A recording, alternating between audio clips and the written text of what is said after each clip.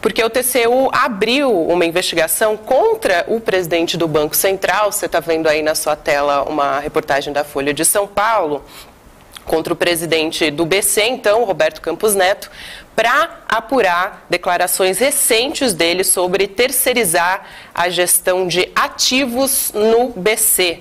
Então, essa é uma informação que a gente teve agora do painel da Folha de São Paulo. Edu, quero te ouvir a respeito disso, porque, bom, o o PT, inclusive, subiu mais o tom contra o presidente do Banco Central, né? chamou ele de lacaio, de capacho, num texto publicado no site, na última sexta-feira, no site do PT, e comparou também o Roberto Campos Neto, né, é, esse texto que foi publicado, aos golpistas do dia 8 de janeiro.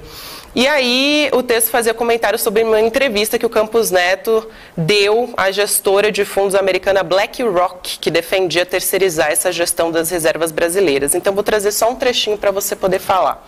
Reafirmando o papel de lacaio do sistema financeiro, Neto revelou mais novo plano para destruir a soberania nacional.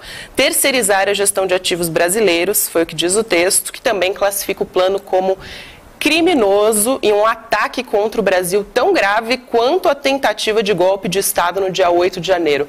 É exagero ou não falar assim, Edu? Não, e, e o curioso é o seguinte, né, Gabriela? Numa conversa que ele estava tendo com a BlackRock. Quem é a BlackRock? Uma das maiores gestoras de ativos do mundo. Isso. Então ele fala de terceirizar. O que quer dizer terceirizar? O, o BC ele tem muitos ativos, tem muitos recursos é, ele gerencia ali, as reservas, gerencia um monte de coisa, né? O, o, o, o depósito dos bancos. Então, os bancos é, têm ali o, o, depósito compulsório que eles têm que ter. Toda vez que você tem dinheiro na conta corrente, um pedaço daquilo no banco tem que ficar depositado no Banco Central. Toda vez que você faz um CDB no banco, um pedacinho daquilo, ele também tem que deixar bem menor, né? Na conta corrente o depósito compulsório é maior, mas um pedacinho do CDB tem que ficar depositado também no Banco Central. E aí, o que, que acontece? O Banco Central tem, tem a conta única lá do Tesouro, tem um monte de coisa. E o BC, ele tem é, é, ingerência, tem interferência na maior parte dos recursos que o país tem. Ele é o Banco Central, é o banco dos bancos. Tesouro Nacional, ele tem que ter alguém que toca ali o, o, o que ele tem de recursos. É muito dinheiro. É muito dinheiro. A gente está falando de trilhão. A gente está falando de trilhão, não está falando de bilhão.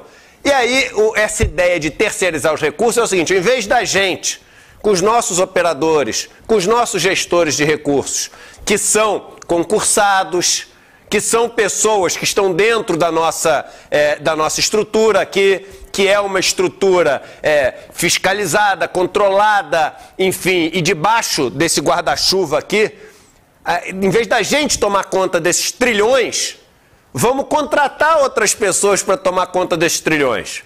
Aí, meu irmão, corre solto. Porque toda vez que você investe o teu dinheiro, você está financiando algum negócio. E essa turma que você vai terceirizar, vai investir o dinheiro aonde? Depende, onde ele quer financiar, onde ele quer deixar corretagem para o cara ganhar dinheiro.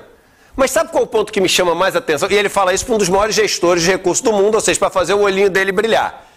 Agora, sabe o que me chama mais atenção? A gente estava vendo agora o, o, o, irmão aqui falando do caso da Marielle, e ele falando, a gente estava falando lá atrás da metralhadora, do AK-47, disso, daquilo, e o pessoal estava criticando, hoje a gente viu que a gente estava na direção certa. Desde quando o ICL está falando aqui do Roberto Campos Neto? Desde quando a gente está falando que tinha que enfrentar o Roberto Campos Neto? E a gente falava assim, o, o Ministério da Fazenda tem que enfrentar.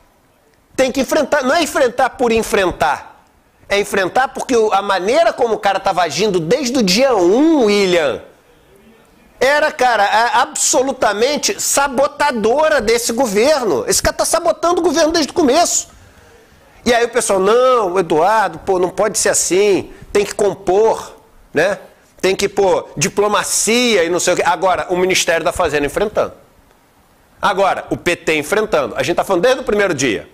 A gente falou isso lá atrás do Juscelino. A gente está falando isso do Lira. Meu irmão, o problema é quando bate a tua porta, abre e enfrenta. Porque se tu deixa a porta fechada achando que ele vai sumir, ele só está crescendo do lado de fora. E um dia tu vai abrir a porta e o problema vai ser muito grande e vai te causar um monte de problema se você conseguir resolver. que às vezes tu não consegue mais resolver. Esse Roberto Campos Neto é um cara que pode, enfim, destruir esse governo.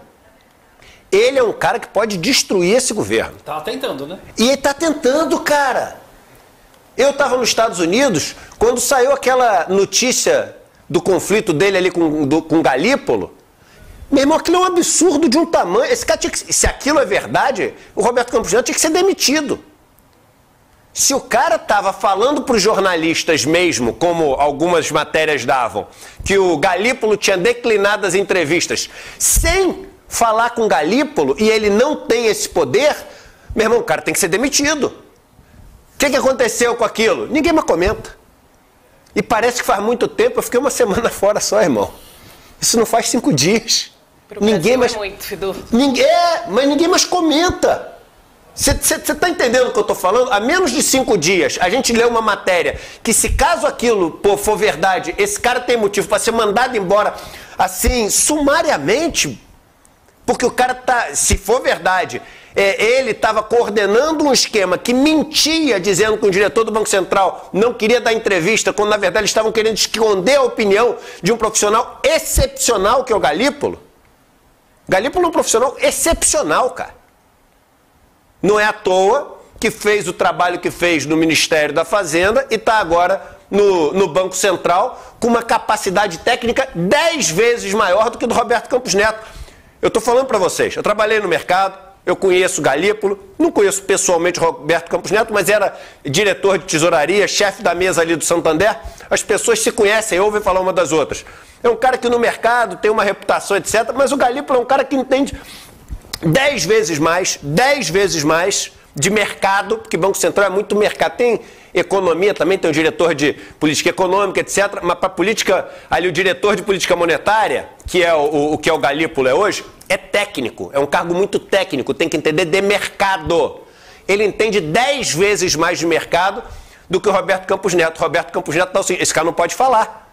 Se esse cara começar a falar, o rei vai ficar nu. E ele que se diz técnico, né? É isso. Ele, a galera, o rei vai ficar nu. Se o Galípolo começar a falar, o Roberto Campos Neto fica nu. Porque eles vão ver que o cara que fala que o assunto é técnico não é técnico o suficiente. Que o cara que fala que está sabendo de tudo, que tem que ser esse juro alto, esse cara é, é um engodo. E esse cara está defendendo os interesses dos donos dos bancos, que são seus amigos. Então, meu irmão, o que aconteceu há menos de cinco dias foi um escândalo. Não se fala mais nisso. Agora eu volto a dizer: o ICL está falando isso desde o começo. O final do Roberto Campos Neto vai ser algo que o ICL falou desde o primeiro dia. Como eu espero que seja do Lira, como eu espero que seja do Juscelino Filho, como eu espero que seja do Ciro Nogueira, dessa turma. Que essa turma fique nua no sentido, pelo amor de Deus, não seja no sentido literal, me poupe disso. Fique nua, assim, no sentido das pessoas saberem realmente quem são elas, em termos de capacidade técnica, em termos de vontade política, em termos de interesses por trás das suas ações. É, e a gente precisa lembrar, Edu, é, é, é, sempre é bom lembrar que o, esse Roberto Campos Neto, o ministro, o presidente do Banco Central técnico, né, Gabi, estava no grupo de WhatsApp dos ministros do Bolsonaro, só saiu é, quando a Gabriela Biló postou, é, revelou aquela foto dele participando do grupo Ministros do Bolsonaro. De técnico não tem nada. É Banco Central independente. Independente de quem? Do bolsonarismo que não é, do mercado que não é, dos neoliberais que não é. Independente de quem, né, Gabi? É, por que fazer parte desse grupo? Qual o interesse de fazer parte desse grupo que é político se ele vive dizendo e já deu tantas declarações dizendo que ele tem uma visão meramente técnica dentro do Banco Central e que não, uh, não faz nenhum tipo de interferência na equipe ou nas decisões, né? Isso que a gente fica se perguntando aqui também, né, Will, né, Edu?